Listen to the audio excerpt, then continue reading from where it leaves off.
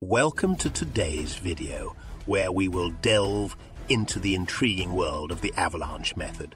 Remember to like, subscribe, and comment if our content is helpful.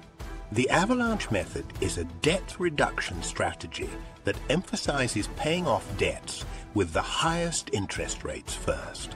You can save money over time by reducing your interest paid We'll start by listing all your debts from the highest to the lowest interest rate.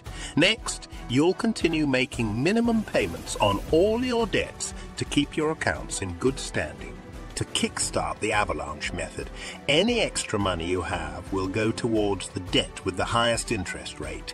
Doing so will gradually decrease the principal amount of that debt. Once the highest interest debt is fully paid off, we move to the debt with the next highest interest rate. The money allocated for the previous debt is now channeled towards this one. The process continues, always targeting the debt with the highest interest rate. As each debt is paid off, the money used is allocated to the next one on the list. In this method, the size of the debt does not matter, only the interest rate does. This is a crucial characteristic of the avalanche method and distinguishes it from other debt reduction strategies.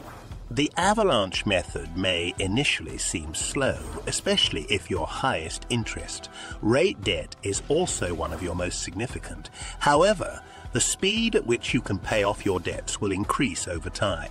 This is due to the snowball effect. As each debt is paid off, more money is freed to tackle the next debt. This method can be particularly effective if you have ample high interest debts. While the avalanche method can save you the most money in interest over time, it may require more patience and discipline than other methods. It's essential to stay motivated and keep your end goal in sight.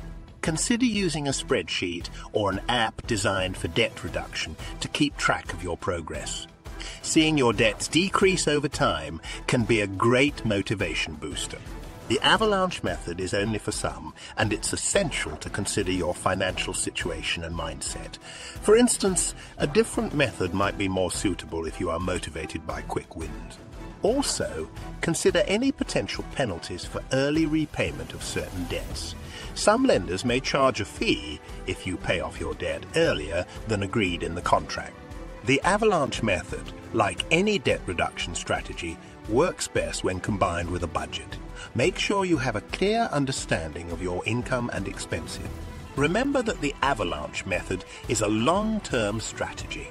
Paying off your debts may take months or even years, but the result is worth it.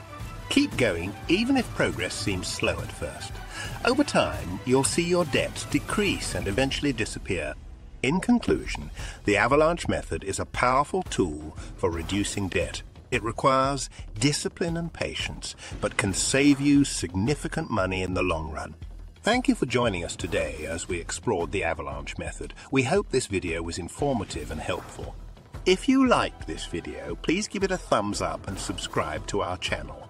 Your support is greatly appreciated and helps us continue to produce quality content.